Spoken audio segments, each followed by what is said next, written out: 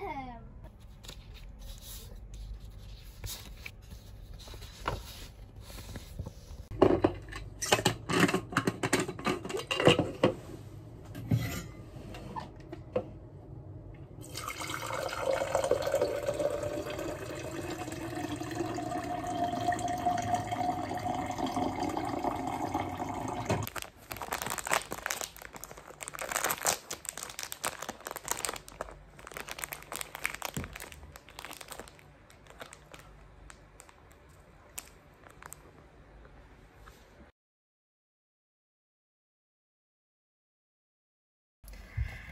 ？So, what's happened since then? Well, it's true that the recycling message has reached more people than ever.